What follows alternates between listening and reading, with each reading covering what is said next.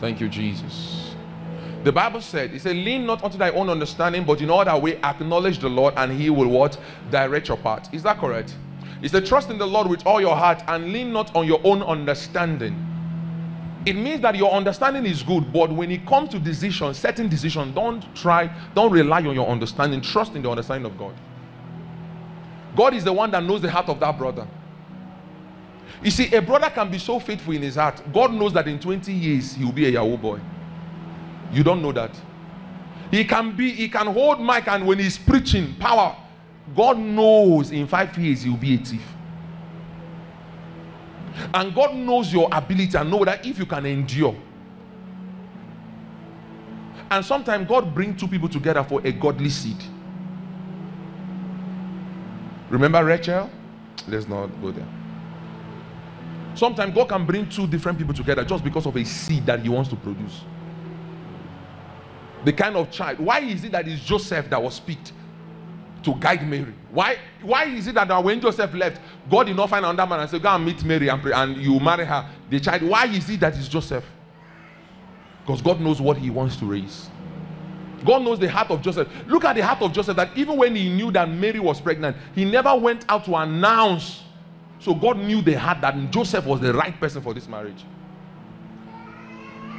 So, and these things are very, very important. That's what I'm saying. It's very, very important that you know it.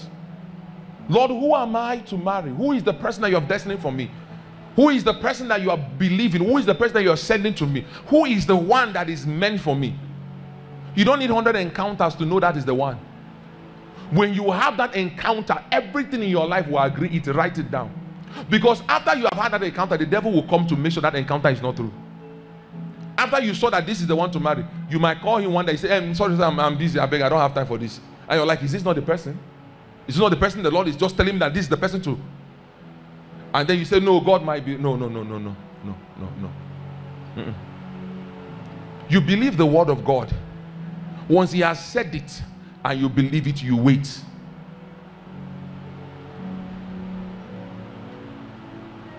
Some of you, some ladies have collected so many lists.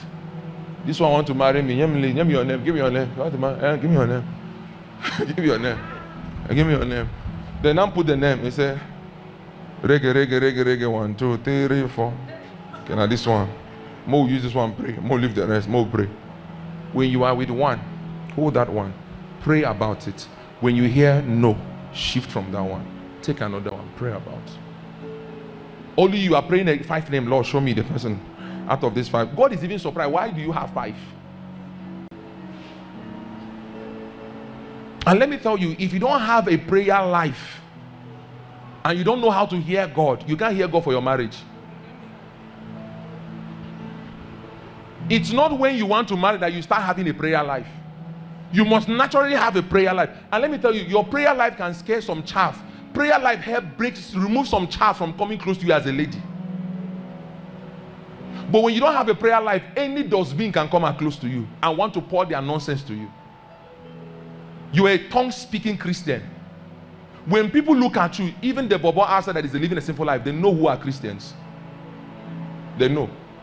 When they look at you, they know. You cannot be dressing and you say, Oh, everybody's coming for me. Let's check what you are wearing.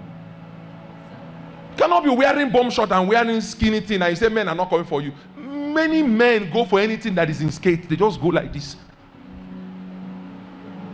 Say everybody, hey Cynthia, everybody, man, everybody just coming after me. I'm like a hot dog. You're a dog indeed.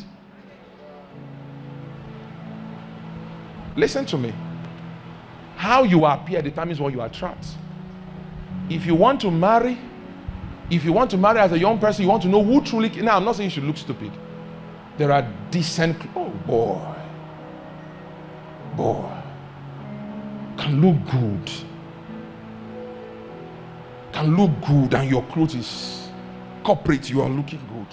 Anyone that's see, when a tout sees a corporate person, he knows that this one is not my class. They know their classes. Even when they stop you and you speak to them, they know this one no go work. I just want try luck. That alone would chase away some useless people. And anyone that summons courage to approach you will have something here. When He's speaking to you, the way you even look at them, that is when you start knowing the fire you carry. Do you know your eyes carry fire? He says, Sister, I want, uh, um, um, um, um, we'll, we'll talk later. The eyes. You have intimacy with God. Some sisters are somewhere praying, God, give me God fearing men, and them, they are not God fearing women. God will not take his precious son and put to a dog. No, he won't. He will not do that.